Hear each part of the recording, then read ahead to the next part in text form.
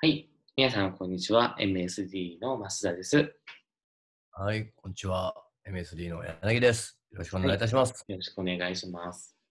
えーまあ、本日は、えーまあ、いろんなサービス、セミナーを開催とかされたり、まあ、自費とかで、まあ、もともとね、診療報酬と違った形でこうビジネスの方をされている方が多いと思いますけど、うんまあ、その時にこう自分のサービスとか、まあ、セミナーにもそうですけど、値段、値決め？うん。そういったことをどういうふうに考えて、それを自分はこの設定だっていうふうに考えればいいのかっていうところを少し柳さんの方にお聞きできたらなと思ってます。なるほど。うん。それは非常に難しい質問ですね。うんうんうんうん、結構あの、あるのが、なんか自信ないから、特にこう、まあ自費初めてします。初めてセミナーします。うん。やっぱなんか自信ない分、お金が取りにくいというか、うん。うん、まあどれぐらいがいいのかっていうのがちょっとわからないなっていうのが、まあ実際僕がこう、当初うん。思ってた時には、なんかそういうふうなのがすごく自分の中で疑問に思ってましたね。やっぱりみんなそう思ってるんですかね。うん。うん。うんもともとがやっぱり診療報酬ってもう決められてるじゃないですか。うん。これやったら、例えば何点うん。とか、うん国がもう決めてるものなんで、要は別に自分たちが決めなくてもいいわけなので、うん。まあそういった意味ではこう、な慣れてないというか、そういう感覚がやっぱ分かり湧きにくいですね。うん。まあでもね、あのーまあそれで言うと、あのー適正価格って言われるものは基本的に存在するわけですよね。うんうんうんううんん。でもじゃあ、それなんで、何に、何に対しての適正なんですかって話ですよね。うんうん、でそこさえ理解できれば、逆に適正価格っていうのは出てくるんで、まあ、それよりも高くするのか安くするのかだけの話って言えばだけの話なんですけども、うんうん。あのやっぱりそれの価格の場合は、やっぱり一番あの基本の考え方っていうのは、ああのマーケティングですよね。うん。まず調べまくらなあかんですよね。うん結構。で、だうん、そうそう、自分がやってるのと、まあ、同類の、まあ、自分がやりたいこと、やろうと思ってることと、まあ、同類のサービスを、あの、まあ、見まくるわけですよね。うん、勉強しまくると。同じようなサービスをしてたり、同じような、まあ、自費をしたりとかっていうところですかね。うん。うんいや、もう、この、例えば飲食業界とかなら、もう当然のことですからね。うん。エリアに対して、じゃあ、周りに近隣にどんなお店があるんだろうかとか。うん。うん。競合の中には、あの、まあ、内容によってはね、大手のフランチャイズの、言えば、大きいチェーンのね、あのうん、店舗もあるわけですから、まあ、その中でじゃあ自分があの選ばれる、その理由があるわけですよね、まず。はいはい。で、じゃあその理由からまた紐解いていくわけです。じゃあまあその理由があるんであれば、この理由と同じような理由で選ばれてる店っていうのはどれぐらいあるのかな、どれぐらい取ってるのかなとか。まずやっぱり絶対これは調べるべきですよね。うん。んやっぱりその値段をつけるためには、まずマーケティングが大事とはい。いうところもちろん。ね。うん。実際そのティングするにしたら、まあ、特にそのどういったところ、先ほど言ったようなエリアであったりとか、うん。実際の値段であったりとか。そうそう。同業種のね。うんうん。うん。でまた同業種もそうですし、今度他業種、異業種の部分ですよね。うんで、予想で予想の場合はどんなもんなのかなとか。うんうん。で、最近よくあるのは、その、会員にしてしまうである定額で取るとか、うんうん。まあ、いろんなやり方とかもありますし、その販売システムですよね。うん。じゃあ、よそ、競合がこういう形ならば、よそとは違う、こうあのに内容は似てるんですけども、システムを変えてしまうであるとか、うんうん。そういった部分で差別化を図ったりとか、まあ、いろんなことを考えて考えて、まあ、一つの答えを出すと。で、やっぱりその値段の場合は、あの、いきなりこう安く安く設定してしまうと、後から取れなくなっちゃいますんで、うん基本値下げはあっても値上げはないですからね。うん。あの、例えば、ラーメン屋さんとかね、ああいう飲食店舗さんが、あの、実際のメニュー20円上げるとか、100円上げる、50円上げる、100円上げるとかっていうのは、すごい大変な話なんですよ。はいはいはい。もう結構ね、あの数字に反映しちゃいますんで、うん収益の方に。うんなんで、すごくそこはやっぱシビアになると。うんでつまり、じゃあ一番初めのその基本設定っていうのはすごくやっぱり重要になるかなとは思います。うんうん一番最初の部分ってことですね。うん。まあ、その自費自費っていう部分に絞っていくと、やっぱりその、じゃあ、周りでやっぱ自費で取ってる診療所、ね、いろいろ、まあ、いろんなサービスがあるとは思うんですけども、まあ、そのあたりのまず、まあ、ベーシックな値段ですよね。うん。あとはその、ターゲット対象にする層でも全然変わっちゃいますからね。ああ。うん。例えばじゃあ街のね、商店街の中で整骨院がありましたよと。うんで整骨院ってここでまあ1時間なんか5000円取ってると。うん。うん、5000円ですよって言って。あ、じゃあここでも5000円払うのか。うん。じゃあうち5000円にしようって言って。うん。でもじゃあ実際どんなお客さんなのって言ったら、うちは結構、あのー例えば家族のね、あのー知り合いで、まあこういう言えば結構比較的富裕層の人たちが多いんで、まあうんそういう人たちのプライベートのね、うん、まあ言えば出術しようと思ってる。で、それに対して5000円。それは安すぎるんじゃないかなって話ですよね。うん。うん。うん。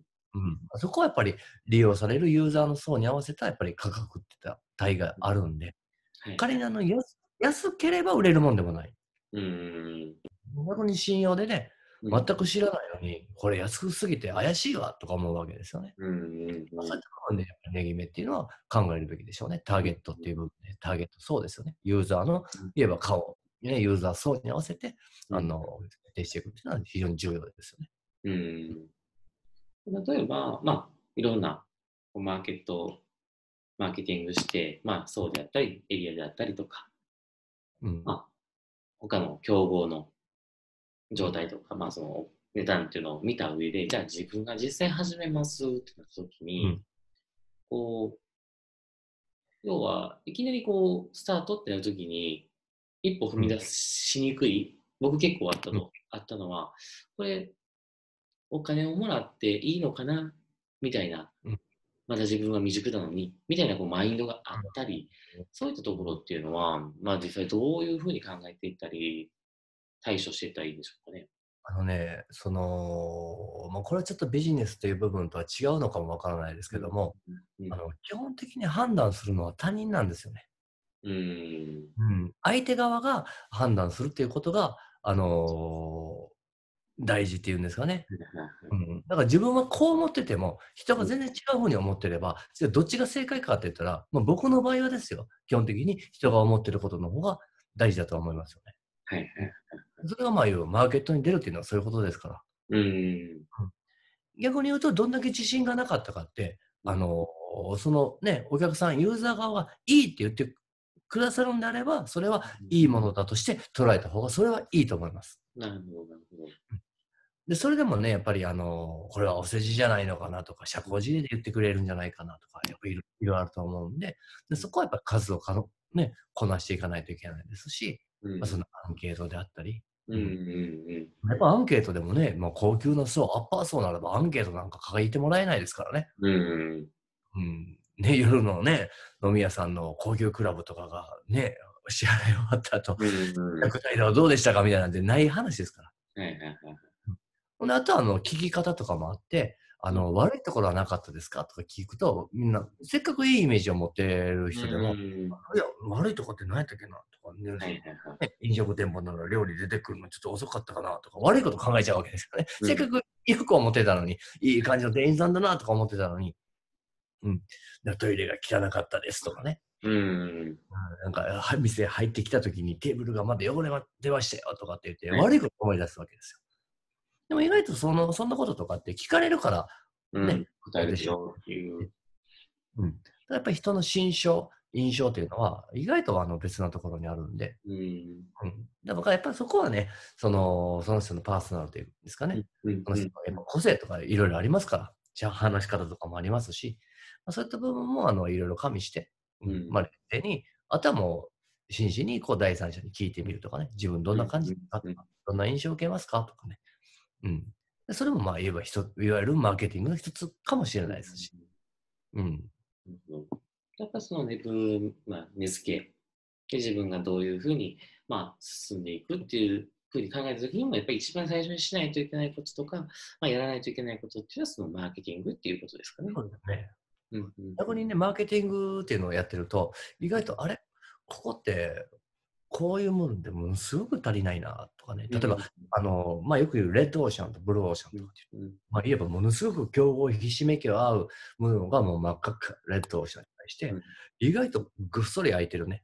うんあ意外とこれ自分がやろうとしてるとこって、このマーケットに全然、このマーケット存在しないな、この職種とかね。この要素とかね。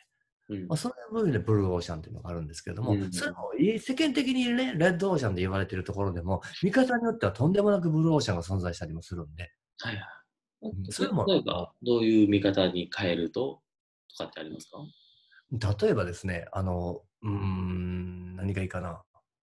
例えば、エリアですよね。まあ、例えば僕がやってた仕事でいくと、例えば旅行会社とかありますよね。はい。あの、やっぱり日本全国っていうマーケットをうん。対象にしてしまう商売なんでね。うん。まあ、拠点はどこでも旅行を販売したらいいわけですから。はいはい。けども、その、大きくマーケットで戦うと、めちゃくちゃレッドオーシャンですけども、うん例えば奄美大島とかね。ああ、なるほど。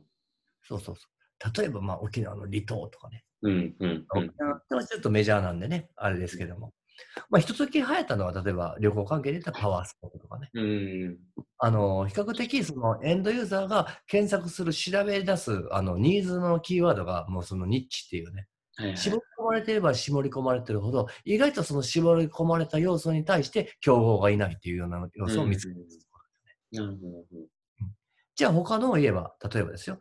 さっきの旅行の例で言うと、まあ、相対的に舐めると、全然アイテム数は少ないですけども、うん例えば、こと、まあ、奄美大島がどうなのか別に関係ないですけども、はい奄美大島に関しては、世間的にはだいたい100アイテムぐらいしか持ってないものが、こと奄美大島に関しては、うちは1000も2000もあるっていう状態を作る。うん。なるほど。それもいろんな言い回し、同じ商品でも言い回しを変えて変えて、前は、あの、ちょっとネタ話みたいになっちゃいますけども、うん あの、いろいろ商品のね、名前を変えて変えて、同じものでもすごくアイテム数を増やしていって、うんそかそその奄美大島っていう言葉では絶対負けないぞっていうね、うん。一まで作り出すと、まあ、それはもう結構、差別化も図れますし、うっん。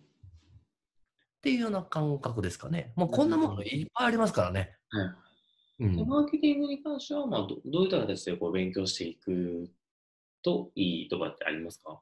やっぱりね、あんまり聞かないというか、専門だったら、まあ、わかんないというか。いやでもね、あの普段皆さんがやっておやっておられるっていうかね、あの日常生活の中での習慣でもこれあるはずなんですよ。はいはいはい。うん、結構ね、あの知らないうちにそういうことやってるんですよ。うん。例えば新しい店がポッとできましたよと、いつも通ってる道でね、通勤通学の時に通ってる道で新しい店ができた時にふと思うわけですよ。うん、こんなとこでこんな店やっても儲かるのかな？ああ。ありますよね。なぜなぜそれを思いました？って話ですよ。うん。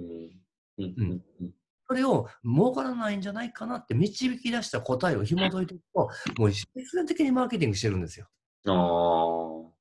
うん、そういうそういうマーケティングって言葉だけど、実際はもう普段から使ってると。いやそうですビジネス用語とかほとんどそうですよ。うーん。まあ、人間のその行動心理学っていうんですかね。はいはい人が取る行動の中で、あの、おのずとそうなる、そうなってしまう事象とか、はい。逆にそれ、それをやってしまうと人って絶対嫌がりますよとかね。うん。まあ、そういったことをもう言えばより、なんていうんですかね、自分の言えば調べたいキーワードに対して、そういう観点で掘り下げていくってことですよね。はいはい。うん。でも、最初にそういった、まあ、実際にこう、マーケティングっていうのを、まあ、学んだり身につけたりというか、うん、して、まあ、ビジネスという形ではしていった方がうまくいきやすいっていうことですかね。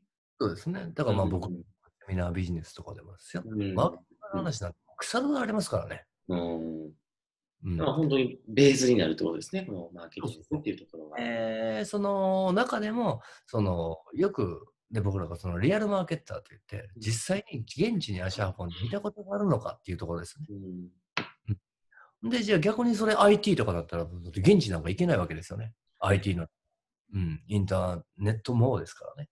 うん。そういう中でいくと、やっぱり検索エンジンとか使っても調べまくるしかないと思いますよ。うん。うん。うん。もういくらでも調べれるのに、全く調べてないことがやっぱり多い。はいはいで、あの、なんとなく知ってても、それがなんとなくじゃなくて、実際にこうだって確信が持てるまで、あの、調べきる人っていうのがやっぱりいない。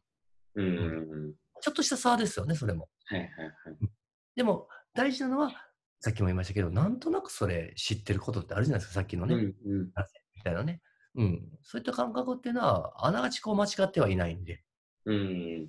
掘り下げていくべきだなとは思いますね。うんうんうんうんそしてしすると、じゃあ自分の価格っていうのは、うんあの、自分で出せないでしょ？適正、さっきの話でいくと。そう適正だね。自分だけで決めても、それはうんマーケティングに知るとは言えないってことですよね。けど、人がね、例えば、俺こんなビジネス始めようと思うんやけど、ほんで、まあ、こうこう、こういうサービスを、まあ、例えば3000円でやろうと思うんですよ。うん。って言った時に、高いか安いかって判断できません。はいはいはいはい。ちょっと高いなとか、そあれは。うん。あるじゃないですか。じゃあなぜそれそう思ったんですか？って話ですよ。うん。で自分で、ね、何と比べてその答え出したんですか？っはいはい。ていうのを紐解いていけば、適正価格算っていうのは出るのかなと。うん。なるほど、なるほど。で、まあ僕の場合は、あの、一個基準にしてるのが、例えば、あの、アップルとかもそうですけども、うんそういうサブスクリプションとかね、はいあ。あいう現代に皆さんが大量に使ってる値段っていうのは、ある意味一個の、あの適正価格なのかなと思います。うん。つまり、あれぐらいのグローバルカンパニーの大きな会社が出してるサービスが、例えば1000円なのに、うん。じゃあ同じ1000円で出すのはどうかなって話ですよ。それ以上取ろうと思うと、すごくハードルが高いなと思うわけですよ。でも、その、特化性があるならば全然違う話は違ってきます。どこでも、まあ、サービスと需要と供給の違いで、適正な値段っていうのが変わっていくっていうことですか？ね。あとはその、ま、も持ってるマーケットでね、あの、リリースしていこう、商品を打ち出していこうっていうサービスを提供していこうと思う、その、マーケットによってもやっぱ違いますね。グローバルマーケットは本当に世界中になっちゃうんで、うん。かといって供給でし続けられないですよね、そんなも。うんんうん。そうですね。数もそうですし。で、まあ、これで一つ言えるのは、あの、値決めの時のき、あの、ちょっとした考え方なんですけども、安くするためには強固の、より強固な仕組みが必要ということです。はいはい。うん。人もいりますし、内容もいりますし、もう不特定多数の人が来ても対応できるサービスにしないといけない。それを安くしようと思うと、さらにそのサービスのシステムは強固でないとダメですよ。うんうん。うんっていうが動いてしまうと、その分、複雑になったりすると、人手がいりますもんね。そうそうそう。うん、だから、まあ、そういった部分じゃこんな内容だったらもう授業のギャラすら払えないですよみたいなところになっちゃいますね。うん、まあ、じゃあ安すぎて、安くしようと思えばより資本力もいりますし、体力もいる。逆に値段を上げていく部分であれば、あのーそういうシステムじゃなくてう、んサービスの内容ですよね。うんうんになってくるって部分ですよね。うん。うん。